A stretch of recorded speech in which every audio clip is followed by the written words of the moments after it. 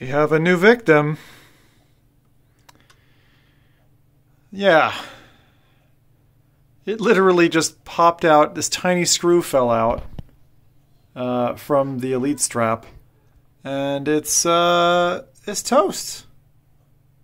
It is like I have been very lightly using this. I am very careful with my equipment, and it was the sidebars are fine. Sidebars are fine, but that connection is awful, and it just with casually putting it on snapped.